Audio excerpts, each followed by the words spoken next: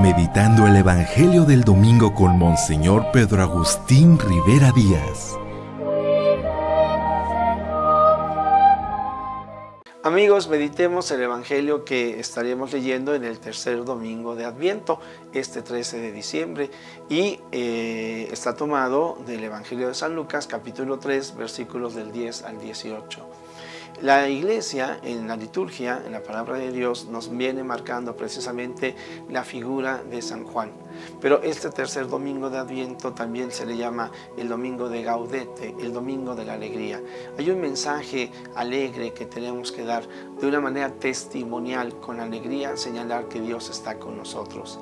Y entonces ciertamente pensamos en Juan Bautista, un hombre que es austero, pero no por eso su mensaje está lleno de tristeza o de pesar. No, hay una gran alegría, hay una conversión. Él está señalando que algo nuevo está por comenzar, por iniciar, si abrimos nuestro corazón a Dios. Por eso, el testimonio de Juan eh, Bautista va a atraer a muchas personas, cada uno con diversas situaciones, con diversas ideas, con diversos mensajes que quisiera eh, recibir.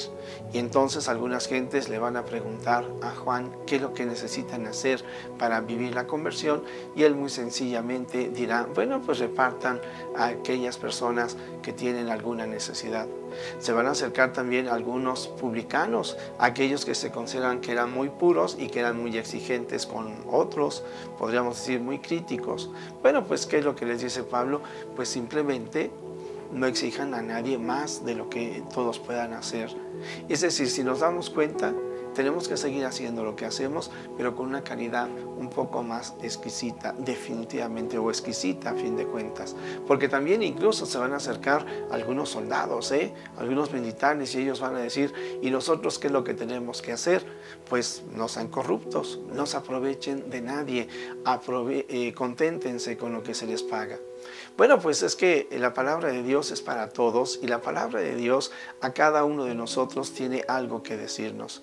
De esta manera, entonces, eh, porque tenemos que estar abiertos a esta palabra que es para mí, también debo yo de confiar en Dios para compartir esta palabra que es para todos.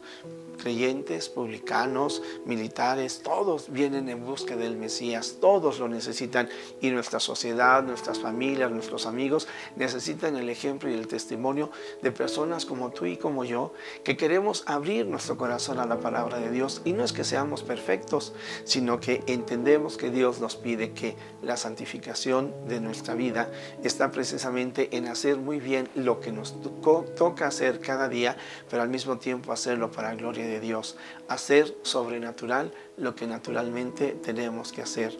Seamos evangelizadores de tiempo completo y de esta manera, con la alegría del Señor, logremos que nuestro lema sea vida. Jesús, que todos te conozcan y te amen, es la única recompensa que quiero.